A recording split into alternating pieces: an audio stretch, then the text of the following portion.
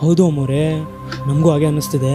ಈ ಮನೆ ಬಗ್ಗೆ ಅಕ್ಕಪಕ್ಕದ ಮನೆಯವರಲ್ಲ, ಏನೇನೋ ಮಾತಾಡ್ತಾರೆ. ಇಲ್ಲಿ ಕೇಳಿ, ಮೂರು ವರ್ಷಗಳ ಹಿಂದೆ ಈ ಮನೆಯಲ್ಲಿ ಅಪ್ಪ, ಮಗಳು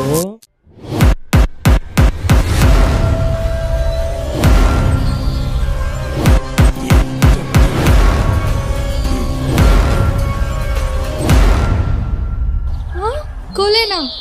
ಅವನೇನ್ ತಪ್ಪು ಮಾಡಿದ್ದಾನೆ? ಅವನೇನು ತಪ್ಪು ಮಾಡಿದಾನೋ ಅವನನ್ನೇ ಕೊಲೆ ಮಾಡಿದಾರೆ ಗೊತ್ತಿಲ್ಲ. ಬಟ್ ಈ ಕೊಲೆ ಮಾಡಿದವ್ರ ಮಾತ್ರ ಕಂಡು ಹಿಡಿದೇ ಹಿಡಿತೀನಿ.